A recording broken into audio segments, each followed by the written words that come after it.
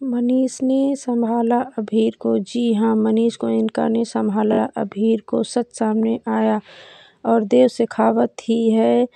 अभीर जानकर हुआ बहुत ही ज़्यादा खुश मनीष गोयनका और अभीर को संभालते नज़र आया। जी हाँ मनीष गोयनका ने संभाला अभीर को और अभीर को पता चल गया कि यही है मेरे नानू और अभीरा है मेरी बहन और अभीरा को हक दिलाने के लिए पहुँच गया गोयनका हाउस और गोयनका हाउस में मनीष ने संभाला अभीर को और अक्षरा इस दुनिया में नहीं है। यह जानकर मनीष गोयनका बहुत ज़्यादा दुखी हुए, लेकिन अभीर ने कह दिया, आपकी वजह से मेरी माँ की मौत हुई है। आप मेरी माँ की मौत के जिम्मेदार हैं और बहुत ज़्यादा गुस्सा दिखाते हुए अभीर ने बोला तो आगे क्या होने वाला है? देखते रहिए, रिश्ता क्या कहलाता है?